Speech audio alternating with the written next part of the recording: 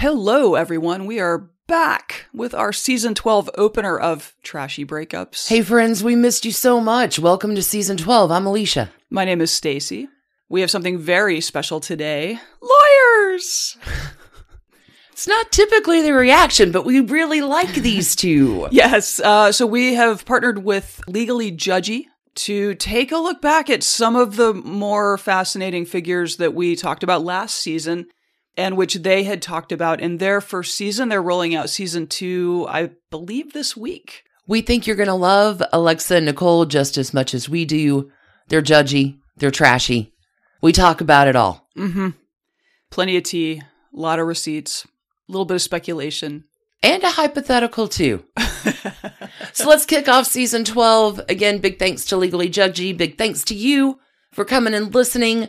We will resume with regular trashy breakups beginning next Wednesday. Don't forget, you'll have your regular season 12 premiere of Trashy Divorces 2 this Sunday. And we'll see you soon. Hope you enjoy.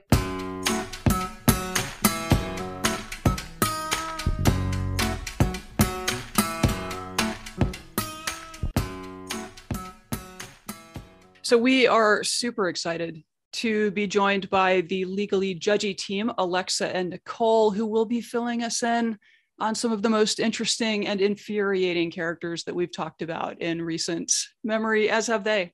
Trashy Divorces has a limited lens on some things, and we are always so curious about the legal aspects. We have found a partner podcast for us. Hey, y'all, thanks for coming on to Trashy Divorces. Hi. Hey guys, we're so excited to be here. Thanks Introduce for having your- us. Oh, you're so welcome. Introduce yourselves and tell everybody about Legally Judgy. Yeah, happy to. So I'm Alexa, And I'm Nicole. and we are the hosts of Legally Judgy, where we bring you the judgiest, juiciest legal topics in pop culture. Yeah, Which we love we, we love love. getting into celebrities' lives and hearing about their lawsuits and their failings and how much money they owe. So, you know, We love we love the receipts. You know, there's there's never enough to know about celebrities, whether it's their pockets or lack thereof, or their many lawsuits. Attorneys do tend to like the receipts, I have found. yes. we love evidence. Our spouses love it too, as you can imagine. Makes uh, arguing very fun.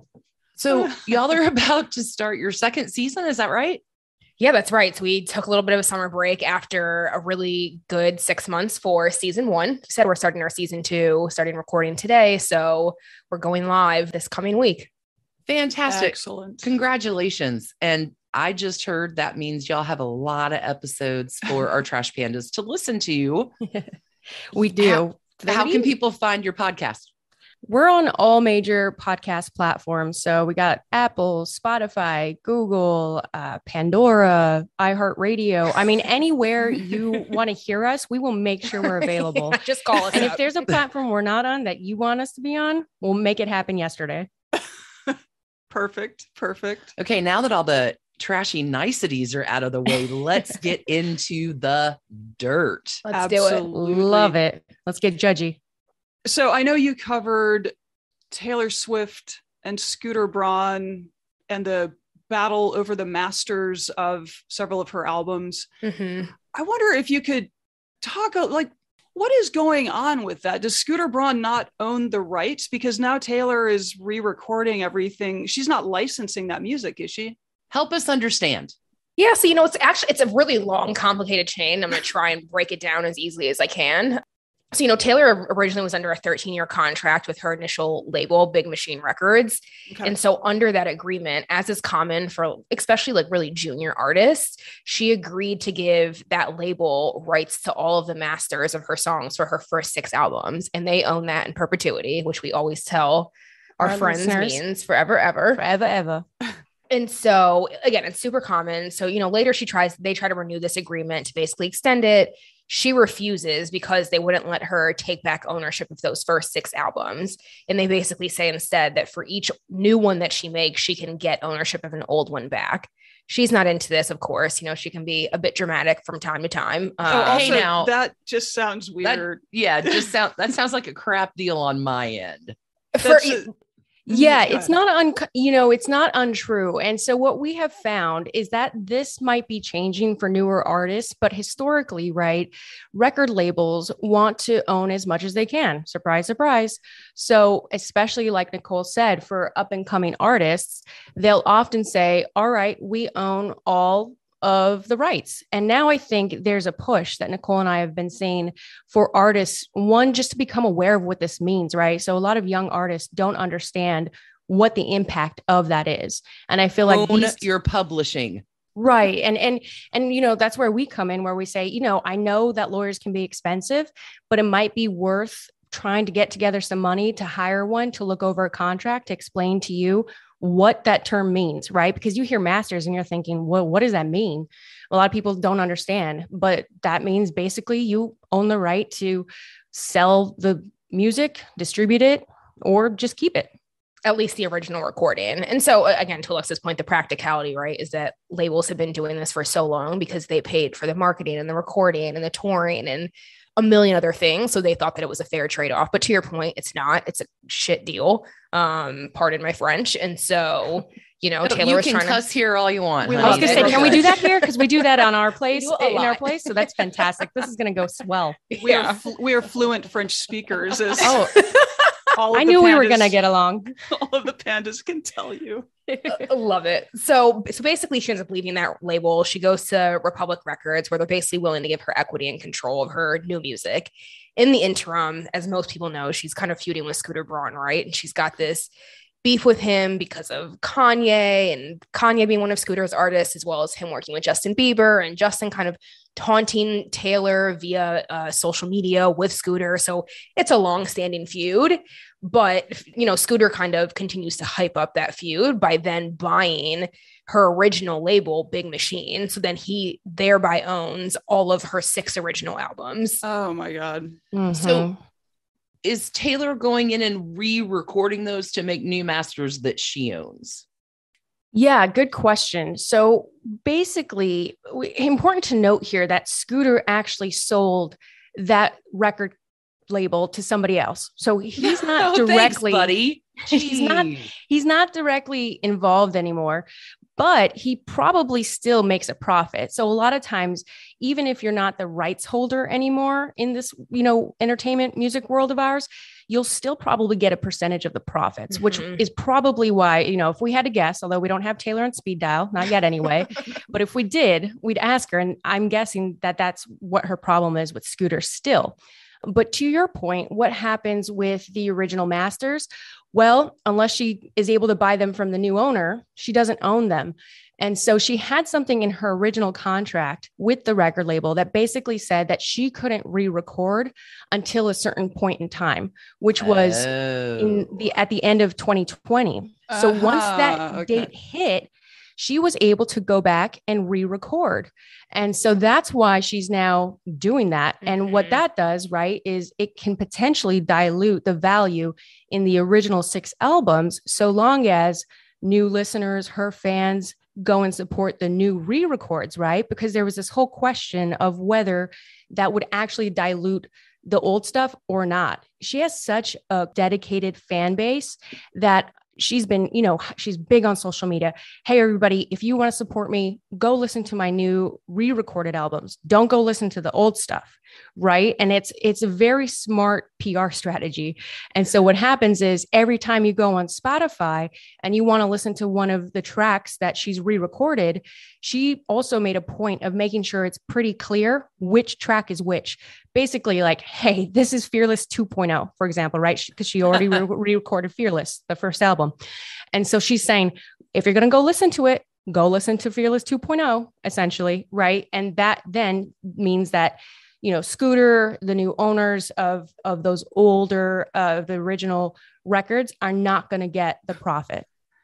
So what I heard you say is that the worldwide pandemic was actually good for one person. yeah literally was. Taylor Swift. Yes. exactly. yeah That's brilliantly said. her and always beyonce because Yeah. beyonce literally is always making money So you mentioned another name in there, uh, Kanye, y'all. Oh. A number one. Ding, Can ding, you ding. believe he got his album out? Uh, we Uh, yeah. Ugh, i know Finally. Uh, isn't he suing over didn't he say the label shouldn't have released it though? Like I don't. I have not. Yeah, you're right. I haven't seen that he's suing yet, but I know that he Okay. had vocalized some issues with the label because they had basically dropped a version that he hadn't fully approved of. But in fairness, I'm sure like after four false drops, Yeah. some intern was probably like, "I think he said yes, so press send." and, and then it was just too late. And then you've got Kanye at your front door in the middle of the night. Yeah. We we almost did. He, you know, we're in Atlanta. You guys are in LA. He was like haunting our sports Stadium. stadium, for a few weeks, doing listening parties. Did you guys go? We did not. It's shocking to me. You didn't want to just sit there for two hours Are hours. y'all uh, placing any bets? How how likely is it? Do you think the divorce between Kim and Kanye is actually going to go through? I doubt it. I've I've got like a 10% likelihood of them actually getting divorced. As- Yeah, I'll, I'll say 11% just to just to get controversial here, right? I like to create some waves. I don't I'm just skeptical of the Kardashian clan and their ability to create the biggest PR stunts. I So can't imagine me- why they've shown themselves to be so trustworthy in the Yeah. You know, you know, like even I I think of the Scott Disick, Kourtney Kardashian, Travis Barker love triangle going right now and they're saying Oh God, what God isn't talking to them anymore. They unfollowed each other on social media. And I think that's just such this is Kris Jenner playbook 1.0. I don't know Is what this- do you guys think. Is Do you think the, they'll actually get divorced or Ooh, um, at this point, I don't, but I did when they first announced it. It's apt to change day to day. I just feel like enough time has passed and Kanye's moving into stadiums. I, I don't know. Well, and she's showing up in her wedding gown to remarry him for performance art Mhm. And then or something. They attended the Met Gala as Dementors. So right, I, it's very odd. I went to dinner last night too. So, you know, it just I just feel like there's not enough ego in the world that they can have. And so you really they've really only got each other to compare to. I agree. Okay, so let's stop feeding into that PR machine Yeah. Yeah. and Smart. find another PR machine to feed into. Y'all talk to us about Tom Girardi and Eric Oh J. man. This is a good one. This is a speaking good one. of Oh, man. ego, Yeah, there's no egos about anybody we're talking about today. Um, no, I'm humble, gonna go. humble people. I'm going on the legal record and saying that I'm comfortable with that. Um, Yeah, Erika, Jayne, and Tom Girardi, where do we start? You know, that okay. So, as lawyers, there's a part of us that is very, very upset at him personally, right? He's not making us look good at all. I don't know if you guys have heard, but lawyers don't always have the most uh, trustworthy reputation. That's So, n- news to us. Actually, I'm, I'm sure to our listeners too. right. So basically, Tom is a very famous California attorney who worked on multiple consumer law cases, right? He was kind of known as the big white knight. He's suing drug companies, car makers, utility companies for just a wide range of negligence or even just overt carelessness. And he was winning like multi million dollar judgments for multiple victims of like pretty egregious uh, incidences, like plane crash victims, um, people who were burned um, from like gas leak explosions, people who developed cancer from various elements from companies just misbehaving, essentially, right? And so he really built up his name being known as that lawyer, right? You think Erin Brockovich, it's that he's the one that inspired that movie, right? He's he's the Erin Brockovich lawyer. So they they based it on him. So you know, there was some whispers over time that maybe something unsavory was happening, mm-hmm. but nobody really talked about it, right, Nicole? Right. Because the lawyer, like the legal community is tight knit. I mean, Right. there's a lot of us, but I think the allegations have gone so far as, you know, because he was so big and making so much money, he had other people in his pockets and he had kind of kept all of these claims at bay. And so people weren't really looking into them. But then, you know, starting last year, basically, it was coming out pretty in pretty like rapid fire that he had stolen tens of millions from his clients and that he was like taking loans against future earnings. So basically a Ponzi scheme. And then, of course, there are the claims that he's giving millions of dollars to, you know, his wife, Erika Girardi's something company. I don't really think that anybody's figured out what the company actually does yet. Pop star career. Right. She's a very nondescript, really low key kind of Right. person who doesn't mm-hmm. modest. doesn't, doesn't try to get too much attention for her. She's not really a spotlight person, She right? very, she's very uncomfortable in it. You know, she just poor thing. She just cries every time there's a I camera mean, on her. Waterproof mascara. Oh my Erika. gosh. It is. Did you guys see that scene on Real Housewives? Oh yes, Oh we What'd you guys? Real quick pause. What'd you guys think of that? Did you buy it? No, Okay. no, not not even a little. Yeah. bit. So our follow up question, because Tom Girardi now is in a he's in a conservatorship. conservatorship Yes. similar to Britney. So His brother is his conservator. let's talk about conservatorships and but but notably the state bar of california well he's in the conservatorship because he claims to have Dementia. alzheimer's dementia Yeah. yeah. which yeah my my father had to like i'm in no way making light of that it's just the state bar of california does not believe that he is mentally unsound in the least he was i realize things can change rapidly with Mhm. medical things but like come on that is all the Right. timing there is spectacular if you're a guy who stole hundreds of millions of dollars Oh, for sure. I mean, everything was perfect timing, right down to the divorce, because the divorce was, you know, filed by Erika before the claims came out, and then the dementia things start before the cases have really been filed. And so, you know, he, he's he's no dummy. I don't think she is either. So I think that they kind of timed a lot of these uh defenses, should I say, before anything meaty or the investigations actually began. So now he's got all of these, you know, claims, including the fact that his car apparently rolled over four times as of the last Beverly Hills episode. Um, something yeah. to keep him from like being prosecuted or found guilty. Right. I just uh no. and that seems like a real good place to take a quick break. Let's hear from our sponsors this week. Back on the flip side. We could all use a little sparkle in our lives, and that's where Victoria Emerson really shines. Victoria Emerson is a jewelry line driven by one mission to create gorgeous jewelry for everyone. From earrings and necklaces to wrap bracelets and boho cuffs, they've been adding some bling to women's lives since 2012 and are loved by celebrities like Jessica Alba, Vanessa Hudgens, Busy Phillips, and more. The pieces are designed with style in mind, using genuine materials, including real crystals, stones, pearls, and gold. They're versatile too, with most styles offering multiple points to fasten, so you can wear them as snug or as loosely as you want. They're easy to take on and off too, with the boho cuffs, magnetic clasp, and the wrap bracelets loop fasteners. There are also smartwatch straps, layered necklaces featuring multiple chains on one clasp for a layered look with no tangles. Want some sparkle in your life? Brand new styles just landed online for the fall season. Listeners can buy one, get one free on the entire collection by visiting www.victoriaemerson.com slash trashy and using the code trashy. Once again, that's www.victoriaemerson.com slash trashy and use the code trashy. This episode is brought to you by The Last Duel, a film by Ridley Scott, director of Gladiator. Witness the true story of one woman who defied a kingdom and made history. Starring Academy Award winners Matt Damon and Ben Affleck, Academy Award nominee Adam Driver, and Jodie Comer, who gives a performance critics say will be remembered come Oscar time. The script was written by Academy Award nominee Nicole Holofcener, as well as Affleck and Damon. See The Last Duel, only in theaters October 15th. The Fall Line is a true crime podcast covering the coldest cases in the southeastern United States and occasionally beyond. We focus on the missing persons, the unsolved murders, and the unidentified does that don't get media attention. Empathetic and intensively researched, The Fall Line will take you on deep dives into unsolved cases that you've never heard of and make you wonder why you haven't. Find us wherever you listen to podcasts. So Yeah. let's let's let's dial it back and talk about conservatorships because they've been very much in the news. Mhm. Britney, I think, finally has been freed from Yes. hers.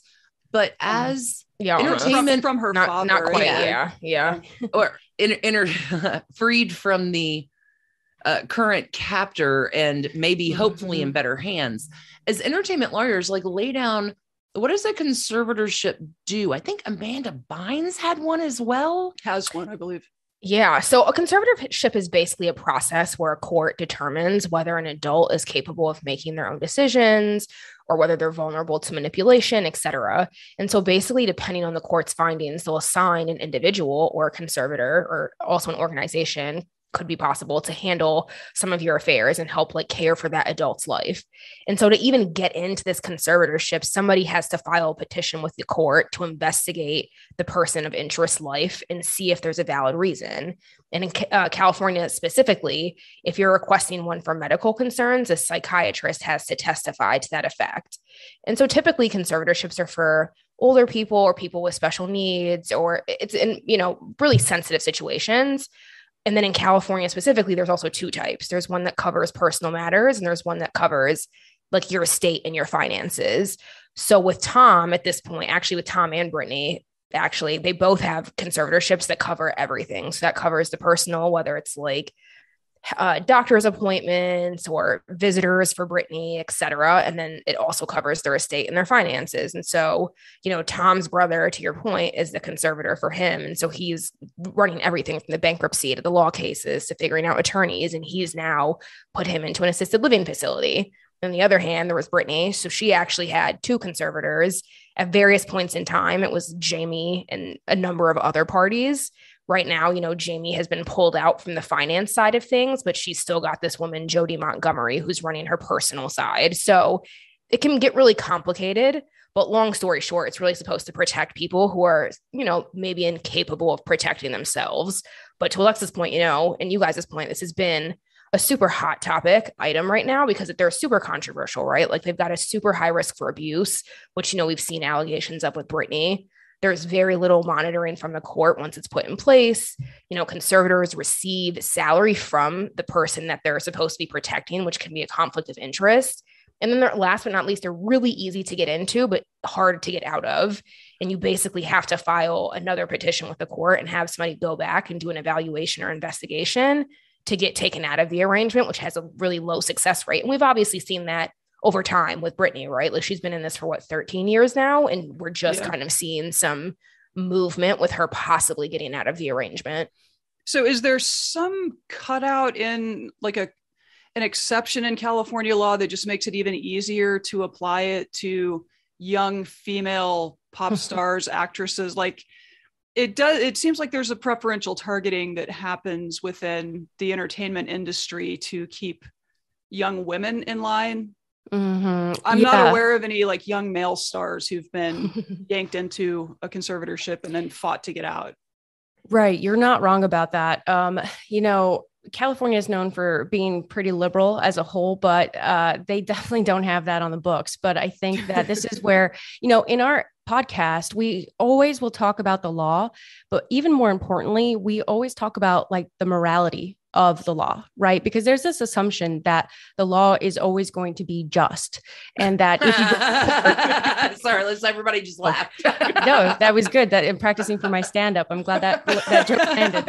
Um, no, but the, a lot of people think that, right? You're raised, I think we as a society are socialized to trust the laws because we assume that people have our best interest in mind when those laws are created. And unfortunately, that's not always the case. Um, it's I, you know, I don't want to get political, but I, I tend to think that it's the people who have the most to gain and the least to lose that are shaping these laws and putting them into effect. So, to your point, I think that unfortunately, for in particular Britney's case, she was coming up in front of the media she had all eyes on her, and she was a young woman who basically fell prey to tabloids and paparazzis and basically just sexism, um, you know, and misogyny, um, and people attacking her because she was slut shamed, right? After the Justin Timberlake mm-hmm. uh, breakup, you know, he comes out with the Cry Me a River music video, and people assume Britney cheated on him.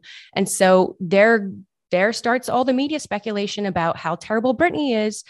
And it continues and continues. You know, I know you both covered an episode on Britney and you talk about it too, and how the paparazzi were attacking her and the tabloids are going after her. And it was true. And I think this is my personal opinion, but I do think that that was used against her. And there's nothing in the law that says anything to that effect. But I think they go, oh, there's a woman who's upset that she might be losing custody of her kids. And there's a woman who is trying to regain control of her life when she's been controlled by other people her entire life. We can't have this.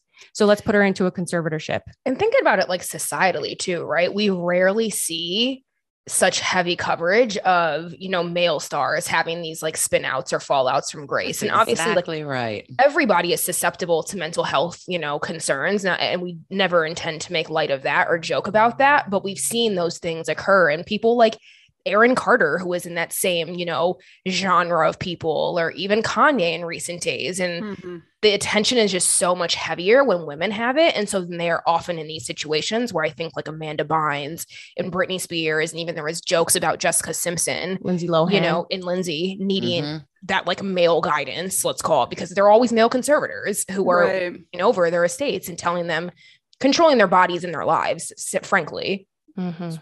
It- So It's like it's the dream of for a lot of men, I think. Yeah. Yeah. I want to back up for just one second because y'all started that out with one of the main risks of that. And you mentioned how conservatorships are conservatorships, words are hard, are It's fine. easy are easy to abuse. Mhm. As attorneys, what does that mean? Explain to me what kind of abuse, because it does seem like Britney's dad was doing something shady with their books. So I'm assuming part of that is financial. Yeah, I mean, so the you know the Britney thing is complicated, right? Like this week, we've now before his dad, her dad, sorry, got pulled away from or suspended from managing the financial part. If you remember, a month ago or around a month ago, he had basically filed to terminate the entire conservatorship, which would mean that Britney is completely free. There's no Jodi, there's no Jamie. She can make all her own decisions. And I said it to say the allegations or the thought process behind him filing that first is that that would shield him from having to provide documentation oh. basically describing what he had been doing as a conservator for the past 13 years. And I think ultimately that's because he may have been doing some really shady shit and he was abusing that system, whether it was putting surveillance in her bedroom, which is a new allegation, monitoring her phone and her text messages. You know, the whole what her claim recently in court that, or I guess earlier this year, that he had forced her to have an IUD put in. And so those are the kind of things that, like, there's again there's little monitoring from the court but high risk of these people to overstep boundaries and do things that are really maybe not necessary to protect these people from whatever the court has found to be a concern in their lives Right. And I, I would just add too, on top of what Nicole is saying, is that you think about who the court places as the conservator of the conservatee, right? The person that needs to be cared for. It's oftentimes a family member. And that family member is going to receive a salary from the conservatee. I think the thought is, hey, put a family member in charge because, you know, then we can have more trust. And Oh, unfortunately, absolutely. Yeah, yeah. that's not the case, right? We see it here yeah. possibly you know we always say alleged because we don't know those court documents were actually sealed for the longest time and it's only recently that they have become public knowledge right and now we have even more people focusing on this so there's more fact finding coming into play and what nicole said is very important and this is the thing that we are going to be looking at in the coming days but it's important to note that like she said, the reason why her personal lawyer is saying, no, don't terminate the trust yet is because they've now replaced Jamie with a new conservator over her finances who will step into the shoes of conservator. And that means that he will now have attorney client privilege with Jamie's attorneys. Because Jamie right attorney client privilege means it, you know we are lawyers. So when we talk to our clients and we say attorney client privilege tell me what's going on anything that they tell us cannot be used against them, right? The court doesn't have a right to come in and ask us what was said because that is the trust that we have as their attorney. And so if this trust was terminated, then all of that would go away. But now with this new conservator coming in, he gets to, he has the right to come in and talk to Jamie's, not Jamie's, but the conservator's lawyers who Jamie was talking to and go, let me see all those emails from the last 13 Mhm. years right? And that's really important. and reviewing contracts that Jamie basically signed on Britney's Mhm. behalf. And yeah. exactly Exactly. And I think as an, you know, let's be equal opportunity, right? It's not just Britney who's at a high risk for abuse. Even Tom Girardi is like, we don't, I'm not, I don't think, listen, I don't think the situation is kosher. And I have a lot of questions about what he did with that money. But at the end of the day, until he's proven guilty, right, he's supposed to be deemed innocent. And so there's a high risk for abuse and conservatorships like that because he's an elderly person. And so we Mhm. don't know if he does have dementia, right? People could be taking money from him, whatever money he does have, or taking things from his house or abusing him physically. And so again, it's all because there's like little monitoring. And so any anybody in this arrangement could be abused in some way, whether it's financially, physically, etc. Yeah. And this is why we like forensic accounting. Yes. Yes. I'm pretty sure if you just shake out the couches at the Girardi house, you're set for life if you're a normie. I mean, so let me ask y'all which legal battles should we have our eye on as trash pandas that may mm. intersect Ooh. with divorce these days besides the ones that we've talked about oh and Yeah. should britney get a prenup 100% right Oh, yes, 100%. We'll take your advice. Yeah, you guys are lawyers. You might as well be on that one. Yeah, at this point, you guys are divorce lawyers, so you Yeah. have just as much as us on prenups. definitely not lawyers, but yeah, I hope that uh, I hope that the conservatorship does not end before they. I hope they require Britney to have a prenup that protects Sam's shoe collection. and jeep collection too okay. all right so what else should we have our eye on Yeah, good question. I'm, I'm, I'm we're looking over our season two uh, schedule, and I'm trying to find some messy divorces. I've got or- one. Oh, I've got a really good one. Okay, So. Dr. Dre and his Mhm. wife are currently in a divorce. yes And so it's obviously not done. They're still i shouldn't have such glee when i say that but this, this is where the trashy and judgy we just work well. you Yeah. know? We had Hey, we wish the best for them, but until then, we can talk about it. so that will just exploit your, Yeah. your life issues. But obviously that's happening, right? And the re- most recent allegation came out this week, I guess, that he's officially filed a claim over her possibly embezzling $350,000 whoa his business account or something. So this is definitely like bound to be messy. And we will absolutely be turning to you guys for all of the juicy background and tea and everything between. I'm just chuckling. It's so good. stacy has written a note Yeah, she's- fantastic I think we're gonna have to keep in touch. Uh-huh.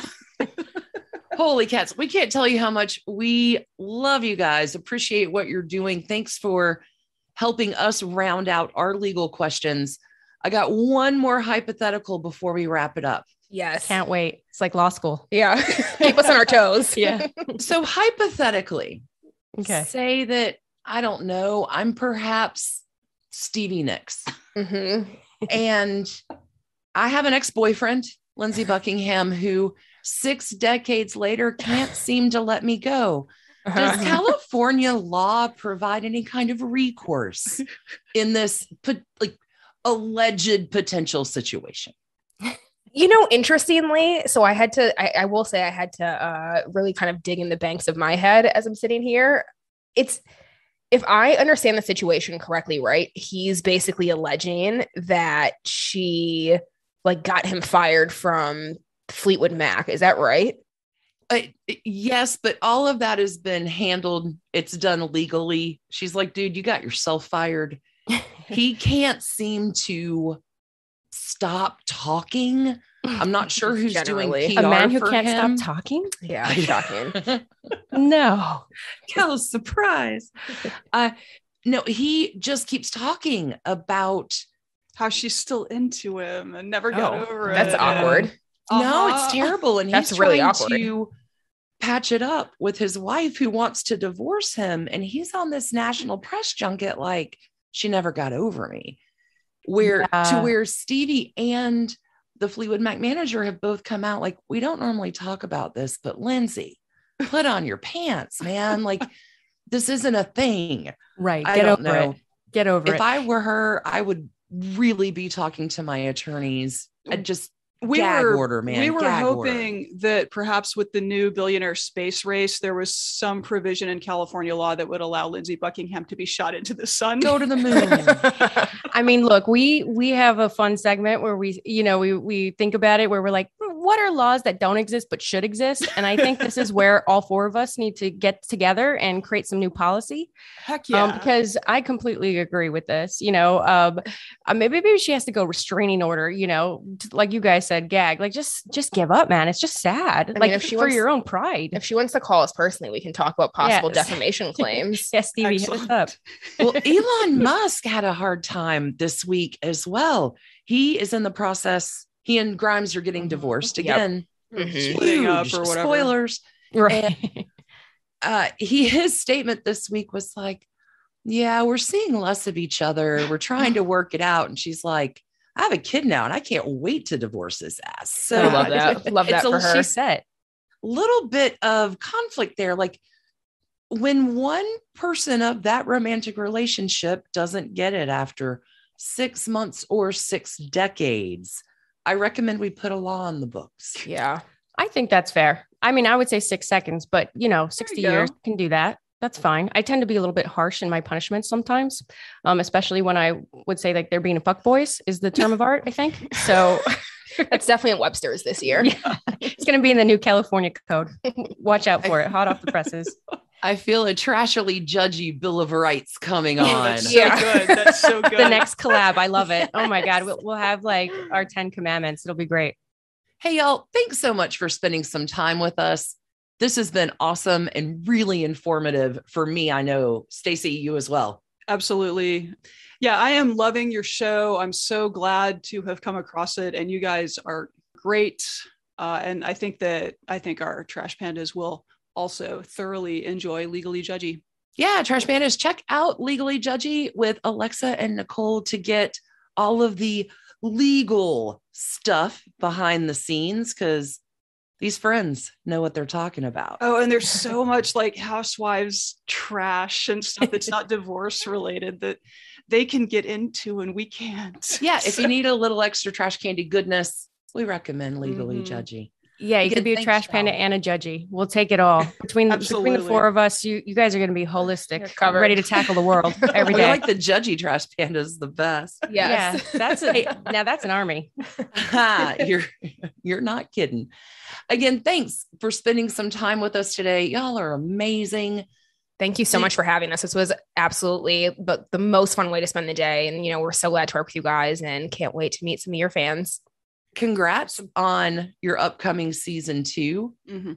And until we meet again, friends, keep your hands you, clean. Keep your hearts trashy. And Judgy. Oh, totally judgy too. Bye, y'all.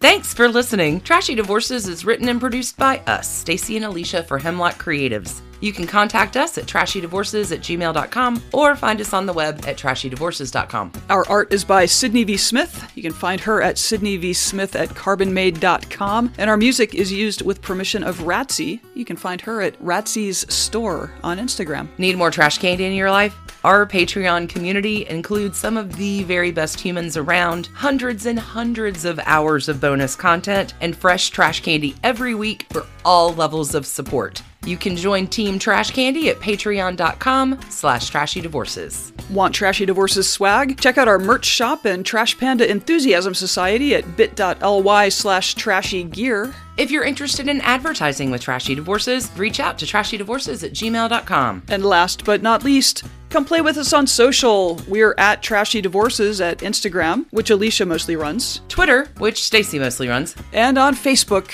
which we split. There's also a Trashy Divorces discussion group on Facebook where the trash magic never ends. Thanks again for listening, everybody, and spending your time with us. Until we talk again, Keep, it trashy.